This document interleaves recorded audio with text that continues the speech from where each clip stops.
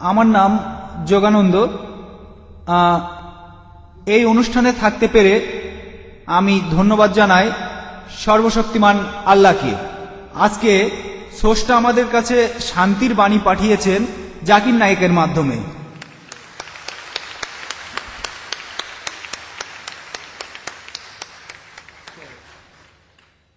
মানব জাতির শান্তি, এছাড়া হিন্দু মুসলমানের শান্তি।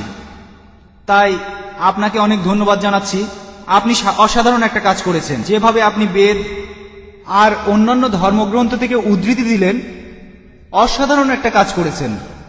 তারপরও আমাদের হিন্দুইজমে একটা জিনিস রয়েছে, সেটা হলো সিদ্ধান্ত।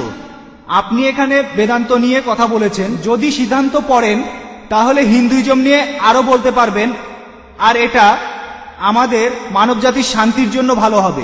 আচ্ছা অনেক ধন্যবাদ অনেক ধন্যবাদ।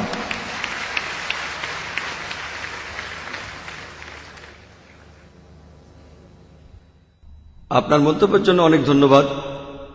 তিনি আমার প্রচেষ্টাকে পছন্দ করেছেন। আমি জানি আমরা অনেক বিষয় নিয়ে কথা বলতে পারি। সাধারণত আমার লেকচারের সময় থাকে এক ঘণ্টা থেকে এক ঘণ্টা পনেরো মিনিট, কিন্তু আজকে আমাকে লেকচারের সময় দেওয়া হয়েছিল দেড় ঘণ্টা, কিন্তু আমি কথা বলেছি এক ঘণ্টা চল্লিশ মিনিট। আমি জানি আমরা যা কিছু করছি, আমাদের এই কাজগুলো মহাসাগরে এক বিন্দু পানির সমান।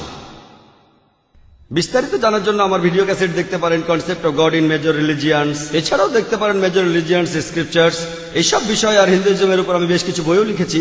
ইনশাল্লাহ এই বইগুলো পড়লে আপনারা হিন্দুইজম আর ইসলাম ধর্মের সাদৃশ্য সম্পর্কে অনেক কিছু জানতে পারবেন। আশা করি উত্তরটা পেয়েছেন। Is the negligence of salah.